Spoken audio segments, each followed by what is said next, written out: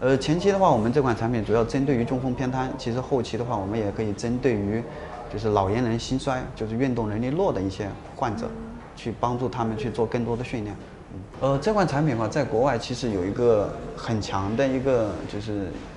关注点，它叫人体增强，它不局限于就是康复，它也可以帮助军人啊去做一些就是体能上的一些减负，嗯，帮助他能行走得更远